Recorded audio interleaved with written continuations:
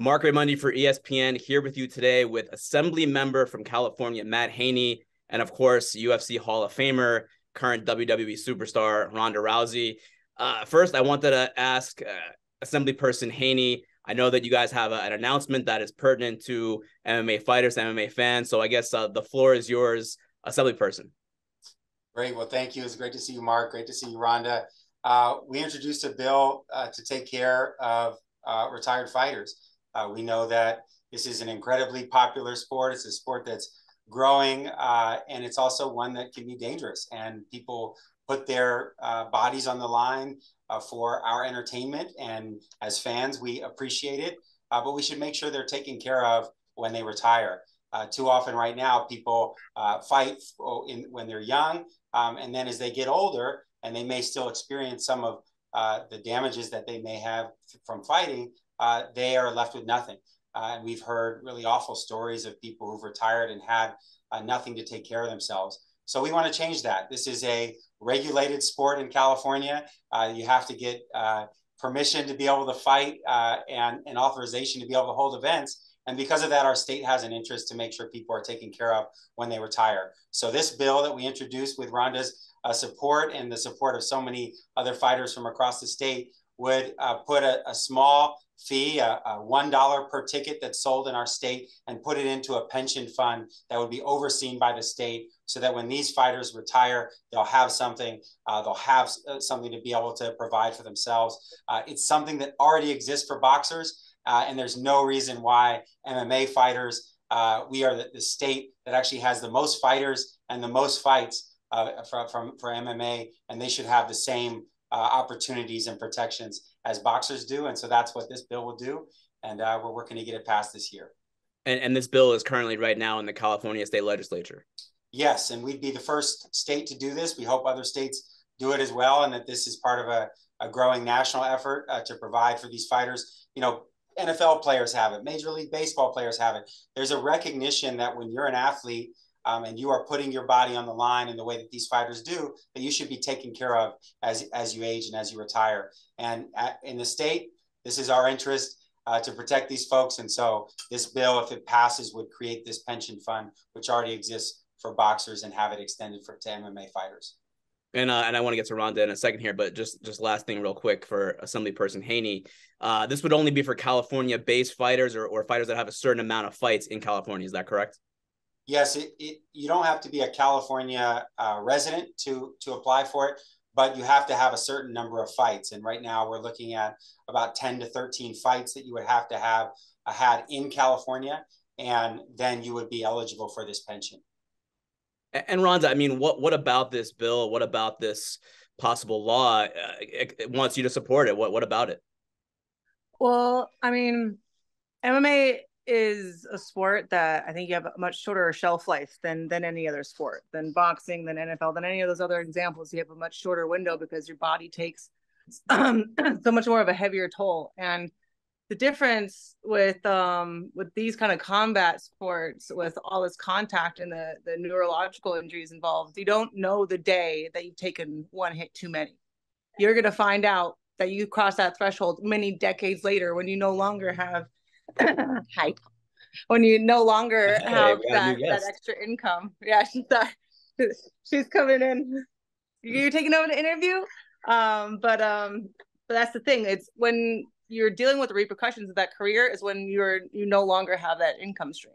And so there's like a a, a big gap there where, you know, when you have the resources, you're and when you have the need for them, they're they're they're not overlapping. And I used to always that was one thing I would say to my husband. Like everyone loves you when you're in in the ring or the octagon and you're fighting, but are any of those people going to be there for you or thinking of you at all a second of the day when you're 90 and you're still dealing with um with everything that you've done because it's not like when you get older you realize your body never forgets any injury they just come back later you know and you're young and you're invincible and you're like I'll I'll do this all day long but um it, it, it does take a toll and a lot of times you don't realize it until until many many decades later when nobody's thinking of you and you have no resources and um, that's one of the reasons why I think you have to kind of be crazy to fight and a lot of people aren't leaving their their Harvard law profession, you know, to go and be a fighter. You know, a lot of these people don't have a lot of options, and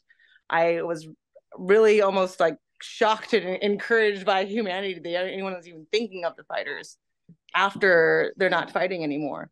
Because I just kind of thought that nobody cares ever that they only want to see us punch each other and it's really cool and then they forget about us and don't don't ever think about us for a second after that and this is the first time i've really felt that anyone actually thinking about the fighters themselves not just the fight and actually cares about the people and not thinking of us as a product and if this doesn't pass i'll be extremely disappointed and i hope that you know um, we, we try again but um, i can't think of a single reason why all of these fighters that are literally fighting their hearts out and putting their lives on the line to entertain people are, you know, haven't had this support already. And I, am really keeping my fingers crossed.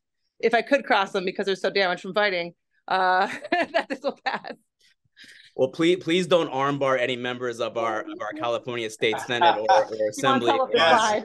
Get, uh, Newsom, watch out here. You know, but but but for both of you, to, to to both of your points about how other sports have this already. Uh, and, and these are sports that are not as physically demanding as MMA is. Uh, is there a way to? I know that that you know California and and and I and I kudos you know to, to you guys for doing this in California, but is there a way to expand this across the country? Promotions, other states, federal. Is there any way to do this for, for either of you? Well, I you know I, I think that this is a really important place to start. We, like you said, we have this already in place for boxers, there's no reason it shouldn't be extended to MMA fighters. So we already have this infrastructure. And then we want to demonstrate how this can be built. I hope to see a lot of other states uh, replicate this, this type of model. I hope to see us find ways to grow the amount of revenue that we can put in. Uh, we've had a, a, good set of conversations with uh, some of the promoters and uh, hopefully we can get them to be more invested in it as well and, and, and ultimately they can make even larger contributions to this fund. So uh, i think we, we believe this is an important first step but it's also a very real one that will help thousands of people and it, it's meaningful.